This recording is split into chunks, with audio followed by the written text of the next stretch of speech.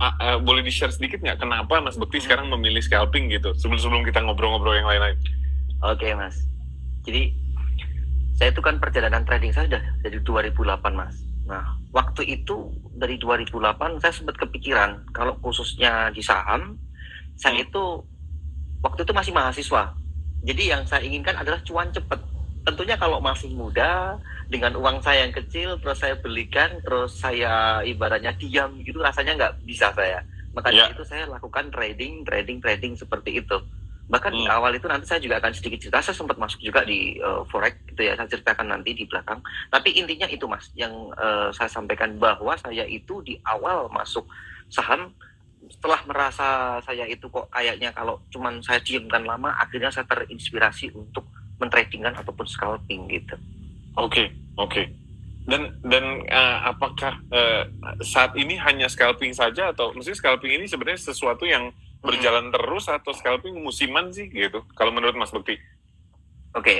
kalau yang saya lakukan pribadi adalah semuanya. Jadi saya juga melakukan investasi, saya juga melakukan swing trading, saya juga melakukan uh, scalping. Namun yang perlu okay. kita ketahui bahwa kita itu harus selalu bisa beradaptasi dengan market. Itu kuncinya di situ. Karena hmm. ada saatnya memang scalping itu nggak cocok diterapkan di kondisi tertentu. Ada saatnya kita mungkin diam atau kita malah lebih baik kita itu untuk memaksimalkan profit, kita swing, kita simpan okay. sahamnya. Iya iya gitu. iya.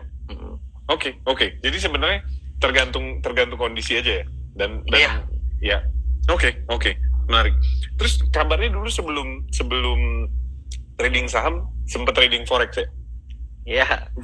Boleh di-share sedikit nggak nih? Gini Mas Amrit ceritanya. Jadi waktu itu kan 2008 ya. Saya malah sebenarnya pertama saya forex. Pertama saya. Okay. Tapi ini jarang saya ceritakan ya karena waktu itu saya itu hanya cuma sebentar sekali. Jadi kurang lebih cuma dua bulanan. Nah, Oke. Okay waktu itu langsung muncullah uh, saham akhirnya saya belajar saham kenapa kok saya langsung berhenti dari forex sebenarnya karena waktu itu saya basicnya di ekonomi kebetulan saham itu bagi saya ada mata kuliahnya hmm, ada dosennya okay. ada jadi udah paham. Uh, waktu itu uh, jadi waktu itu juga ada edukasi-edukasi buku tentang saham. Saya waktu itu masih kesusahan. Mental saya waktu itu masih mental miskin ya. Jadi kalau saya pengen beli buku itu rasanya kayak eman-eman waktu itu gitu. Nah, akhirnya saya menggeluti saham gitu. Makin ke sini makin ke sini ya sudah belajar saham gitu. Tapi di 2013 saya kan pernah bekerja di Valburi Asia Sekuritas ya.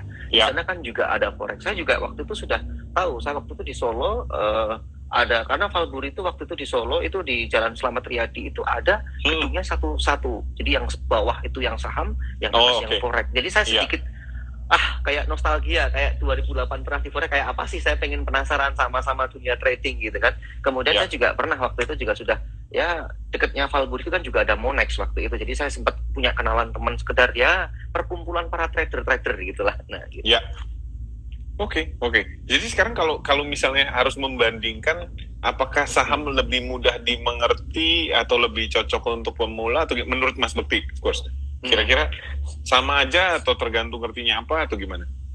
Kalau menurutku adalah kita kembalikan ke masing-masing uh, karakteristik orangnya, Mas. Jadi hmm. misalnya gini, sebenarnya kalau kita bicara masalah forex, forex itu kan instrumen jangka pendek trading jangka pendek ya. Tapi, ya, betul, tapi kalau betul. saham sebenarnya menurut saya itu bagus kalau untuk kita simpan dalam jangka panjang. Jadi ya, instrumennya aja udah menurut ada perbedaan. Nah, masing-masing kalau kita bicara masalah baik atau mana semuanya menurut saya baik. Karena di sini masing-masing ada plus minus. Tinggal bagaimana caranya kita itu memilih mana yang cocok untuk diri kita. Kalau saya menyikapinya ya. seperti itu sih, Mas. Gitu. Oke, okay, oke, okay, oke, okay. menarik. Oke. Okay. Jadi jadi sebenarnya tergantung tergantung uh, profil kita lah gitu apa, kita Uh, cocoknya ke mana gitu ya. Oke. Okay. Iya. Kalau jadi kalau kalau sekarang kita bilang tadi kan kita udah sempat bahas uh, Mas mm -hmm. sebenarnya nggak cuma scalping aja, tergantung mm -hmm. opportunity-nya seperti apa, tapi fokusnya mm -hmm. ke scalping gitu. Mm -hmm. Kalau buat orang-orang yang baru mau mulai gitu, sebenarnya mm -hmm. langsung loncat ke scalping menurut Mas Bekti mungkin nggak sih gitu? Menurut aku agak sedikit susah Mas susah dan susah ya? itu kayak okay. susah aku bisa bilang seperti ini itu selayaknya kalau orang yang belum bisa naik motor tapi langsung pengen balapan pasti akan susah yeah, iya. karena apa ya namanya scalping itu benar-benar menguras energi semuanya termasuk kita harus memantau uh, monitor, kita harus punya waktu. Karena apa waktu kita punya waktu? Karena kita harus bisa membatasi yang namanya waktu uh, kerugian kita ataupun dengan cut loss remnya di situ. Makanya kita harus hmm. menguras tenaga. Nah, sementara kalau di awal itu bagi teman-teman trader eh, ya, mungkin saham ataupun yang lainnya, ya saran saya tetap menggunakan uh, prinsip-prinsipnya seperti kayak misalnya gunakan modal terukur dulu untuk meminimalisir resiko, pelajari semuanya dulu. Eh. Kalaupun yang di saham juga kalau bisa Anda juga ada step-stepnya, pelajari analisanya dulu, teknikal, fundamental, semua basic itu penting dulu. Baru nanti lama-kelamaan akan bisa pilah memilah mana yang cocok diterapkan. Gitu. Hmm, oke okay, oke okay, oke. Okay. Jadi sebenarnya uh, cita-citanya seharusnya bukan kita cita-cita mau jadi scalper, tapi cita-citanya adalah kita bisa konsisten dan mungkin jalannya beda gitu. Kita ngikut nanti kalau akhirnya jadinya scalping ya scalping gitu gitu kan.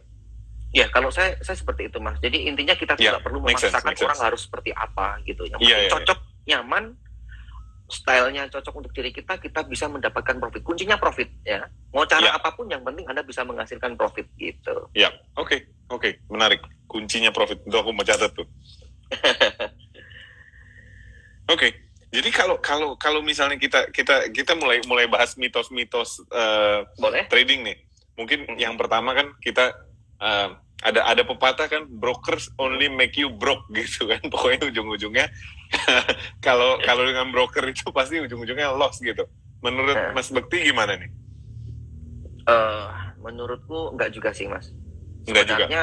ya termasuk saya menyikapi fenomena saat ini karena ada kayak semacam robot trading ataupun apa automatic yeah. order ataupun apa pun itu intinya kan itu kembali ke masing-masing di mana kunci keberhasilan di trading ya trading apa pun saya di sini berbicara universal ya mau yeah. forex bitcoin atau saham atau apa pun dunia trading itu psikologis menurut saya nomor satu pengendalian diri okay. tidak over trading lebih menyikapi rasa bersyukur dan lain sebagainya ini adalah penting banget itu kunci keberhasilan sebenarnya menurutku di situ gitu. Oke okay. dan dan kira-kira kalau kalau misalnya melatih psikologis ada ada hacknya nggak sih atau ya udah berarti memang kita membiasakan diri dan belajar dari kesalahan atau mungkin ada ada jalan belajar lebih cepat nggak gitu? Ya kalau pengalaman saya pribadi sih mas saya itu otodidak. Jadi saya itu hmm. belajar dari kesalahan-kesalahan saya, saya evaluasi. Tetapi kalau untuk saat ini sudah enak ada misalnya kayak gini live IG, udah ada buku-buku, ada TikTok, Instagram, mereka pada edukasi-edukasi banyak banget. Itu bisa dimanfaatkan untuk apa? Untuk meminimalisir biar cepat berhasilnya di dunia trading. Gitu. Hmm, Kalau okay. zaman saya dulu enggak Mas, enggak ada, susah kita. Gitu. Aku di tahun 2008 9 itu namanya Instagram itu belum ada. Bahkan kalau kita bicara ya kayak Zoom, ya Zoom itu sebelum adanya COVID itu siapa yang pakai Zoom hampir nggak ada yeah, yeah. tahu itu Zoom okay. apa tapi yeah, setelah betul, betul. ada Zoom gitu oke okay. oke okay. dan uh, terus kalau misalnya kita bicara orang yang ya untuk orang yang baru mau mulai gitu mm -hmm. wah trading eh, nggak uh, ada waktu nih gua sibuk gitu kan mm -hmm. uh, kira-kira komitmen waktu seperti apa sih kalau misalnya kita sekarang mau mau mau belajar trading menurut Mas Bekti? Ya kalau menurut saya sih Mas itu tadi kembali ke yang namanya sebuah kodratnya masing-masing. Kalau kita itu memang mau scalping, kalau nggak punya waktu, saran saya jangan.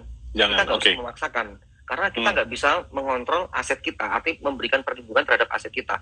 Tapi kalau memang dia nggak punya waktu, atau dia bekerja, punya kesibukan, ya sudah. Dia mungkin hmm. lebih ke swing ataupun invest, cocoknya gitu. Ya, gitu. tapi belajar itu atau sorry sorry atau? Atau mungkin cari instrumen lain yang lebih cocok. Jadi nggak harus dipaksakan juga di saham gitu.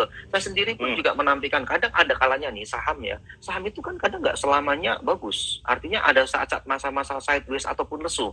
Di saat itulah kadang kita harus ber, apa ya berimprove ataupun berpindah instrumen gitu. Misalnya okay. kadang kemarin sempat heboh yang namanya bitcoin. Ya kalau memang hmm. anda uh, kok dirasa saham waktu itu sempat sempat sepi-sepinya heboh-hebohnya Bitcoin pindah Bitcoin. Kalau pas ini yeah. forex, ya silakan forex gitu. Not bad. Menurut yeah. aku, aku di sini netral, tapi silahkan instrumen semua itu menghasilkan cuan gitu. Hmm. Tapi dengan dengan dengan catatan juga kita belajar dulu kan, ya? nggak nggak langsung nyemplung oh. terus asal. Pasti pasti. Ya, hmm. ya ya. Oke. Okay. Dan dan kalau kalau kalau begitu misalnya kita kita bicara kita yang tadi tidak meng, menghabiskan waktu uh, hmm. selain saham boleh nggak misalnya kita bilang misalnya indeks atau yang lain gitu uh, hmm. menurut Mas Lutfi pilihan apa enggak nih buat orang yang nggak punya waktu atau malas belajar? Uh, jujur kalau indeks saya belum pernah punya ilmunya mas, jadi saya nggak berani jawab okay. takutnya salah. Cip, cip, cip. All good, all good, all good. Iya, yeah, oke, yeah. oke, okay. okay, okay. Jadi kalau oke, okay. terus ka kalau misalnya kita tadi kan kita bicara tuh ada uh, apa? Ada robot-robot dan dan ini. Mm -hmm. uh, men menurut uh, uh, Mas Bekti uh, apa harga itu bisa nggak sih dicurangin sama sama broker atau mungkin Mas Bukti ada pengalaman nggak di situ kan ada mitos bahwa nih wah ini permainan dalamnya gitu dan apalagi sekarang lagi lagi tren kan yang ya inilah robot-robot yang selalu profit eh. gitu. kalau menurut Mas Bukti komen mengenai itu gimana tuh? ya, saya pribadi Mas kalau ditanya seperti itu saya itu orang yang kalau nggak saya enter dengan tangan saya dan nggak saya okay. lihat sendiri itu saya nggak percaya gitu. Jadi benar-benar saya harus stay di depan monitor. Jadi menurut saya hal seperti itu adalah uh, mungkin saya juga kurang tahu detailnya ya. Tetapi intinya kalau saya pribadi lebih ke situ, Mas. Aku lebih percaya dengan diri sendiri menyikapinya seperti itu. Nah, kalau pengalaman-pengalaman di saya selama trading saham, menurut saya transaksinya itu aman, Mas. Artinya ada hmm. lembaga-lembaga yang sudah menjamin kayak bursa efek sebagai polisinya. Yeah KESE, kustodian sentral efek, kemudian dan penjamin ya. efek yang itu. Nah, seperti itu sih, Mas. Tapi di sini aku boleh tanya balik nggak nih sama Mas Amrit tentang forex gitu kan kan jadi di sini aku juga belajar dong jadi biar hmm. kita itu ada ya, ya. jadi kayak gini mas bagaimana kalau dengan uh, forex mas maksudnya kalau broker apa bener nggak sih kalau mitos-mitos kadang main harga atau apa gitu gimana mas hmm. Amrit itu kalau kalau dari yang jelas kalau kalau di MFX enggak itu udah pasti enggak, gitu ya. Ya pasti. Uh, ya, jadi kalau kalau kalau kalau forex kan mungkin sedikit beda sama saham. Kalau saham kan transaksinya terjadi di exchange kan. Mm-hmm. Kalau forex ada yang seperti itu, tapi umumnya umumnya yang berjalan mm-hmm. uh, worldwide itu adalah uh, ordernya itu di, dilempar ke pedagang gitu kan. Jadi ada ada ada satu oh. um, satu party sehingga tidak terjadi di exchange. Jadi kita uh, bedanya kan transaksi kita nggak ngantri gitu, ngantri hmm. sampai ketemu uh, apa pembelinya. Jadi dia langsung transaksi langsung selalu liquid lah, selalu ada gitu kan. Hmm. Uh, which is keunggulan itu. Nah kelemahannya itu yang kita lihat uh, yaitu berarti kan uh, di situ mungkin kalau um, uh, apa uh, party itu kita nggak kenal siapa perusahaannya hmm. tidak reputable tidak regulated ya mungkin saja bisa terjadi di situ. Hmm. Kalau di forex sendiri mas itu indi kalau misalnya ada indikasi kecurangan itu lapornya ke mana hmm. sih mas? Kalau saham kan ada nih katakan oh ini ada yeah, kita yeah. sekuritas atau bursa efek atau apa gitu. Kalau hmm. gimana mas itu? Kalau kalau kan kalau di saham kalau nggak salah ada Bapepam kan ya pengawasnya kan gitu kan. Hmm. Nah kalau di kalau di uh, forex itu pengawasnya namanya Bapepti uh, Badan Pengawas oh, Perdagangan Berjangka dan Komoditi. Nah hmm. jadi uh, lapornya ke sana gitu, lapornya ke sana dan dan biasanya kalau misalnya memang terbukti itu sih ya mereka pasti akan akan akan eskalasi dan dan melindungi hmm. nasabah gitu. Memang role mereka juga menjaga supaya ya apa uh, pialang-pialang forex itu nggak nggak boleh macam-macam gitu kan. Dan yang ya nah. trade ya harus sesuai dengan harga yang berjalan gitu. Nah, biasanya nih Mas, hukumannya apa sih Mas kalau biasanya ada kayak broker-broker yang nakal gitu? Aku kan penasaran nih Mas sebagai seorang saham yeah, yeah. biar biar tahu gitu kan kalau dunia forex itu mungkin teman-teman penonton di sini biar lebih paham juga gitu. Kalau kalau kalau di kalau di forex sudah terjadi ada broker yang izinnya dicabut, ada juga yang oh, cabangnya okay. di cabangnya ditutup atau itu uh, sudah terjadi beberapa kali gitu. Dan hmm. yang mungkin sekarang karena teknologi uh, uh, ke keterbukaan informasi juga di di forex semakin uh, transparan lah karena uh, nasabah kalau dulu kan nggak ngerti nggak ada komputernya nggak hmm. ada ini kan kalau sekarang kan iya, kan semua bener. udah serba aplikasi kan kita bisa ngecek harga bahkan kita mau cek buka buka apa akun demo kita kita bisa buka akun demo di pialang tersebut buka akun demo di pialang sebelah kita udah bisa compare dan bisa melihat ini bener apa enggak fit harganya gitu kan hmm. gitu iya, tapi iya. kalau aku juga setuju dengan dengan uh, Mas Bekti tadi bilang kalau misalnya kita nggak bisa ngelihat uh, dan itu mendadak uh, ya istilahnya di, uh, pokoknya ditradingkan dan dan itu itu sebenarnya uh, kalau di Indonesia itu ilegal mentradingkan di Indonesia itu ilegal gitu mm-hmm. tapi di luar faktor yeah. ilegal saya juga saya sendiri nggak percaya gitu kan mendingan mendingan kita belajar sendiri ya kan nah, tapi bener, kita bener, tahu bener. gitu kan kita tahu setuju yeah, okay, okay. aku okay, juga mas, tipe okay. tipe seperti itu maksudnya kalau kalau ada robot pun sebenarnya uh, ya istilahnya aku nggak anti robot tapi kan setidaknya kita tahu isinya apa gitu kan dan ditradingkan di di platform yang benar gitu menurutku sih itu sih ya Oke, mungkin itu dulu Mas. Nanti kalau ada pertanyaan penasaran okay. tentang forex lagi, saya tanya lagi gitu. Oke, okay, oke. Okay. Lanjut, lanjut ke mitos Siap. berikutnya. Mitos berikutnya adalah trading itu, uh, ya kalau trading modal kecil, uh, cuannya nggak seberapa. Jadi kalau trading kita perlu modal yang besar. Nah, kira-kira komen Mas Bekti apa tuh? Termasuk aku juga merasa seperti itu. Kenapa ya? Kau kayaknya kalau kalau kalau modalnya nggak besar, returnnya kok ini. Kalau menurut Mas Bekti gimana? Gini Mas, kalau menurut saya, menurut saya memang itu yang namanya hukum seperti hmm. itu ya kalau modal kecil ya dapatnya kecil kalau modal kecil dapatnya besar itu kadang tanda tanya gitu kan modal besar dapat profit besar rugi besar itu juga sudah seperti itu kodratnya tetapi di okay. sini yang ingin saya tanyakan adalah ber, ber, ber, eh, dari pengalaman saya saya juga memakai modal kecil mas untuk mengawali trading kurang lebih di tahun 2016 menjadi seorang full time trader. Itu okay. aset saya itu berkembangnya dari kecil. Saya bahkan cuma menggunakan uang 6 juta perak. Tapi dari okay. bertumbuh bertumbuh bertumbuh. Nah tetapi di sini yang ingin saya sampaikan adalah di pertumbuhan aset saya itu saya menggunakan margin margin di uh, perusahaan efek di sekuritasnya. Jadi ada fasilitas margin. Karena apa? Margin ini kan ibaratnya semacam kita bisa menggunakan untuk uh, fasilitas yang diberikan dari sekuritas kepada kita untuk membeli saham di mana itu nanti kalau misalnya persentase naik sahamnya itu kita bisa jual itu sudah uh, ibaratnya persentase akan melebihi dari aset kita gitu karena kita menggunakan margin. Nah, saya hmm. menggunakan margin jujur mas. Tentunya kalau uh, teman-teman penonton di sini kan pada tahu ya kalau uh, apa ya forex itu pasti leverage-nya lebih tinggi. Iya pasti. Kalau di kita pasti pakai margin. Uh, iya. Hmm. Jadi menurut saya margin mas dan uh, gitu. Oke. Okay. Oke. Okay.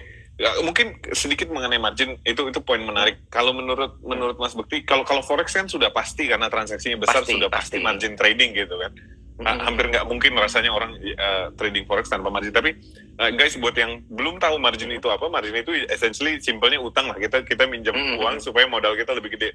Jadi untungnya berkali-kali lipat, ruginya pun berkali-kali lipat. So, berkali-kali menurut menurut Mas Bekti, oke okay, margin adalah salah satu tool yang bisa kita gunakan. Yeah. Kalau untuk pemula, kira-kira mm -hmm. uh, uh, apa uh, kiri belajarnya gimana ya? Apa kita mulai dulu dengan misalnya tadi kita bicara 6 juta, oke okay, hmm. aku punya uang 6 juta. Sekarang pun sebenarnya 6 juta kan sudah lebih dari cukup kayaknya uh, trading saham hmm. minimal 3 juta udah bisa gitu kan. Jadi hmm. katakanlah uh, trading belajar dulu sampai kita konsisten terus baru baru mulai melihat tool seperti itu atau gimana? Ya, menurut saya enggak, Mas. Enggak bisa. Kita harus ber, beriringan. Jadi kita ketika kita itu belajar yang namanya sebuah dunia trading, ya kita memang basic teori itu penting itu pertama. Tetapi setelah itu harus diimbangi dengan segera praktik. Nah, kalau di hmm. awal banget, tentunya kan semua orang tuh pasti kadang di dunia trading itu pasti membuat yang namanya sebuah kesalahan. Kadang mau beli, yeah. keliru jual, dan sebaliknya gitu. Makanya untuk meminimalisir itu biasanya gunakan uang kecil dulu.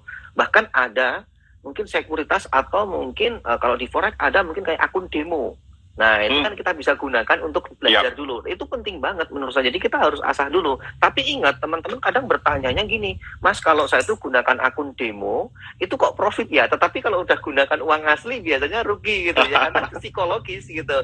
Ketika yeah, yeah. pakai uang demo, Anda nggak punya beban apa-apa, enter atau apa bebas. Nanti kalau rugi, oh, ya udah rugi gitu. Tapi kalau uang beneran, karena Anda benar-benar ini aset Anda anda harus hitung, Anda benar-benar juga harus Anda apa ya, Anda lindungi gimana caranya agar aset aman. Makanya kalau saran saya di awal ya seperti itu Mas Haring harus saling beriringan antara teori dan praktik segera praktik dan silahkan di awal gunakan modal yang terukur dulu artinya seberapa yeah. siap Anda dengan risikonya gitu.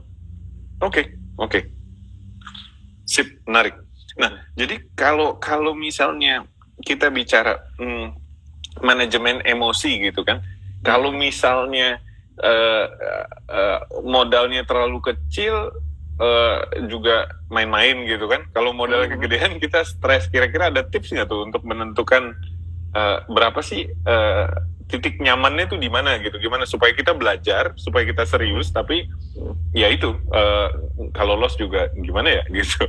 Nah, paham Mas. Ya, oke. Okay. Ya. Kalau menurut saya sih Mas, jadi memang serba membingungkan ya kalau ditanya seperti itu ya. Kalau kecil kekecilan, kalau gede resikonya juga gede. Jadi menurut saya adalah ya. tetap gunakan modal yang terukur dulu sampai Anda dengan modal itu Anda bisa Anda jalankan dulu. Mungkin bisa setengah tahun hmm. atau satu tahun. Kalau Anda ternyata dari situ sudah bisa semacam ada peningkatan, mungkin nggak harus setengah tahun sih. Katakan uh, di awal sebulan pertama tuh pasti adaptasi dulu, masih ngalamin loss-loss itu wajar. Yeah. namanya belajar dan uh, mencoba gitu kan. Tapi mungkin kalau udah bulan ketiga keempat Anda sudah bisa membukukan yang namanya profit, profit kok profit kok bertumbuh-tumbuh. Aku udah tahu ini kayak semacam yeah. mungkin karakteristiknya atau caranya atau apa gitu. Yaitu baru Anda saatnya top up bertahap. Biar apa? Biar itu hmm. nanti uh, ketika Anda itu biar ketika Anda sudah bisa menghasilkan cuan tuh biar cuannya kerasa gitu loh. Intinya gitu. Oke, okay, oke. Okay. Yap. Nah, uh, kalau kalau misalnya kita bicara pengalaman pribadi nih, mungkin boleh di share nggak sedikit uh, uh, apa? Kan gosipnya pernah loss banyak dalam satu hari gitu kan? Kira-kira rasanya oh, iya, gimana? Iya. Bisa di share nggak kita? Terus kira-kira actionnya bagaimana gitu? Supaya bisa bounce back gitu. Iya mas, kalau saya pribadi loss banyak itu pernah, tetapi karena saat itu saya pernah ya miliaran lah intinya gitu aja, satu hari ya. miliaran gitu. Tetapi yang saya rasakan adalah sehari. saya tuh uh, saya tuh sudah kayak mati rasa mas. Artinya mati rasa ya sudah nggak usah rasain kadang kalau dikasih profit segitu ya bersyukur. Kalau loss ya udah anggap aja ini uh, apa ya semacam resiko bagian dari resiko. Karena apa? Aku belinya pasti gede. Kalau aku hmm. mempertaruhkan resiko kecil ya aku belinya pasti kecil. Tapi karena aku belinya gede di mana aku tuh berharap returnnya juga gede tetapi ternyata market tidak sesuai harapan ya saya hmm. harus lindungi modal saya. Makanya saya cut gitu. Dan menurut saya cut loss itu penting banget itu untuk melindungi modal. Kalau dibiarkan justru bahaya.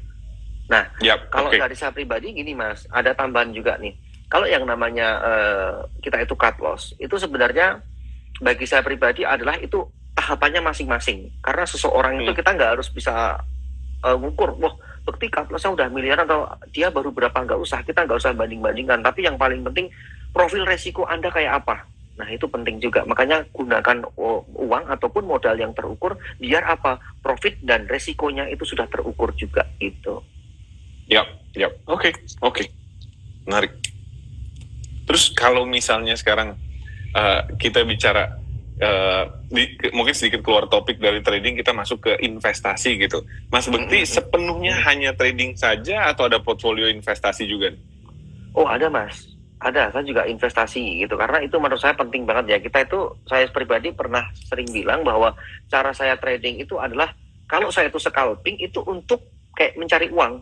Cara cari uang saya seperti itu. Tetapi di sisi lain kan saya juga semakin nanti semakin tua kan fisik saya mungkin semakin melemah kemampuan mata saya atau apa itu pasti ada penurunannya kan maka dari itu lebih baik cocoknya nanti ke invest gitu dan memang e, menurut saya ya memang kita semua tuh harus punya investasi karena apa biar kita tidak tergerus yang namanya inflasi dan lain sebagainya okay. untuk nilai lebih di masa mendatang gitu Oke, okay. berarti boleh nggak kita bilang bahwa sebenarnya trading itu karena karena frekuensinya lebih tinggi, lebih cepat gitu. Mm -hmm. Jadi trading itu bagus untuk uh, percepatan growth uh, resikonya mm -hmm.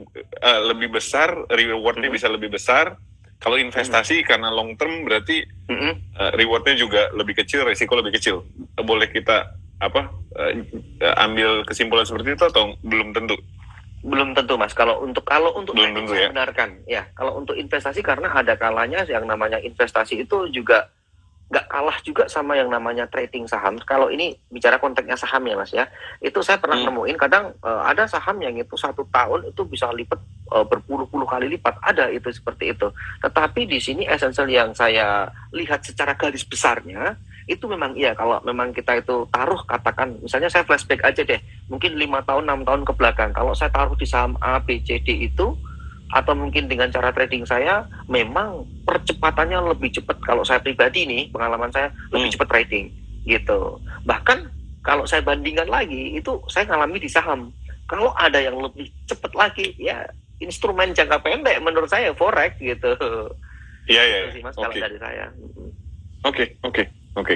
Tadi ada ada pertanyaan yang sebenarnya uh, kayaknya nyambung dengan dengan poin yang sebelum ini kita bahas gitu hmm. kan mengenai cut loss gitu kan kalau ya. misalnya kita bicara kita posisi ke, tadi ada pertanyaan kalau kita lagi loss kapan kita tahu kita harus cut loss? Berarti kan seharusnya kan mungkin sebelum itu di trade plan kita udah tahu ya sebenarnya SL kita di mana gitu kira-kira di level mana. Tapi katakanlah kita sekarang berarti asumsi kalau ada pertanyaan itu uh, yang nanya tadi tidak punya trade plan tidak tahu SL-nya di mana sekarang dia udah masuk dia lagi loss.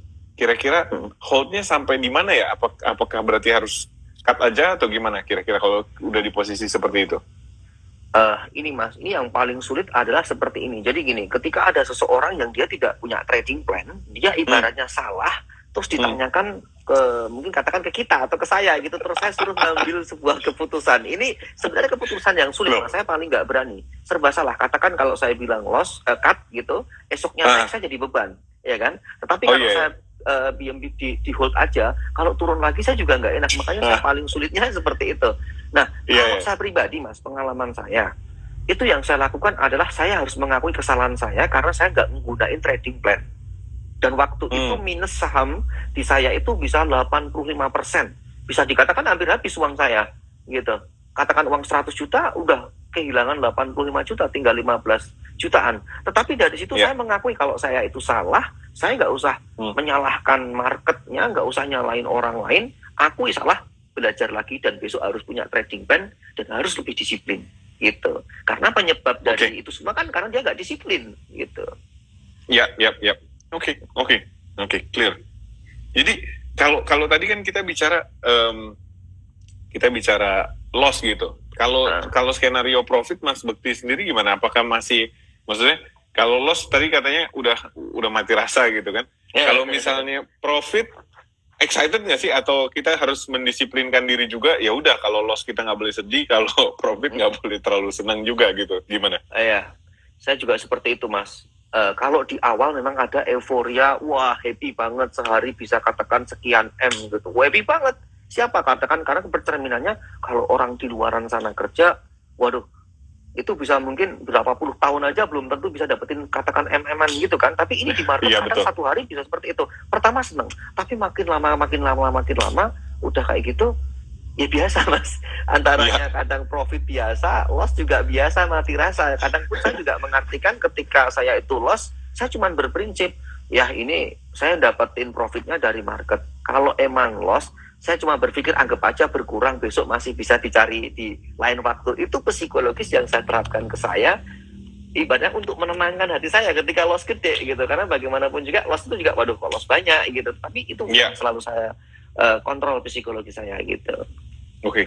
M mungkin satu lagi tadi mengenai loss. Kalau misalnya loss Mas Bekti pernah nggak loss beruntun gitu? Yang sampai merasa oh perlu stop dulu nih gitu. Itu kira-kira kalau misalnya itu terjadi apa? Uh, mungkin buat buat yang lain juga gitu pembelajaran apakah seperti itu kita pause dulu atau gimana? Pernah mas. Atau lanjut itu, terus? Oh jangan jangan. Jadi pernah waktu itu saya itu gini mas, saya itu seminggu itu sekitar 2,8 m melenyap dan itu pun bertahap. Artinya hmm. katakan satu hari 800, hari Selasa 900, hari Rabu 500 hari ini hampir ini kok udah kayak gini aku udah warning gitu kan. Kok lost terus? Ada yang salah ini. Makanya aku stop. Itu kita harus kayak memulihkan psikologis dulu. Karena kalau kita teruskan itu bahaya. Itu yang bermain nanti justru balas dendam emosional. Trading kita jadi nggak rasional lagi. Makanya kalau saya pribadi ketika seperti itu ya rest dulu kasih jeda dulu deh untuk memulihkannya gitu. Habis itu kita mulai lagi kita evaluasi dan kita harus atur ulang trading plan-nya kita gitu. Oke hmm. oke. Okay. okay. ya terus kalau kalau kalau misalnya sebaliknya kalau kita lagi winning streak gitu lagi profit mm -hmm. wah gitu uh, yang yang perlu ada yang perlu diperhatikan nggak sih seperti itu? Atau maksudnya ada nggak? Misalnya jangan ya istilahnya jangan nambah uh, posisi atau gimana? Atau kira-kira kalau posisi sebaliknya gitu apa yang hmm. harus diperhatikan ketika kita lagi apa winning streak gitu kan? Menang menang menang menang, menang gitu kan? Profit profit profit uh, supaya nggak nggak lengah lagi itu ya kalau saran saya amankan aset mas jadi kadang okay. kita harus lindungin. Makanya saya selalu memisahkan rekening mana ini yang buat trading, mana ini buat swing, mana ini buat investasi. Ketika rekening scalping saya yang saya pakai itu ternyata sudah profit, ya saya harus amankan dulu. Biar apa? Oh, jadi di, Biar ya. tarik, ditarik hmm. gitu. Nah, kalau bicara nih mas, boleh nggak aku nanya? Karena aku masih bermunculan kadang penasaran tentang forex gitu kan ya. Oke. Okay. Uh, yeah. Tentang gini mas, misalnya kayak kalau kayak forex itu kan apa ya terkesan kayak resikonya lebih tinggi terkait dengan yeah. leverage itu gimana mas kalau uh, menurut mas Amrit? Ya, uh. jadi kalau kalau kita bicara resiko pasti lebih tinggi karena leverage-nya kan satu banding sampai dengan satu banding seratus hmm. gitu kan. Dan orang umumnya kalau wow, nggak iya makanya. Yeah. Jadi uh, untung satu persen sama dengan untung seratus persen gitu kan uangnya double. Benar. Rugi satu persen sama dengan rugi seratus persen juga gitu. Nah jadi kalau orang yang nggak tahu dan dan overtrade artinya dia hmm. pakai 100 kali ya itu jelas resikonya menjadi sangat tinggi uangnya bisa hilang oh, pasti. sekejap gitu kan. Tapi kalau trader profesional biasanya menggunakan leverage itu uh, biasanya sampai dengan 10 kali gitu loh. Kalau agresif hmm. itu 20 kali 20 kali kita anggap sudah agresif gitu. Dan umumnya kalau seperti itu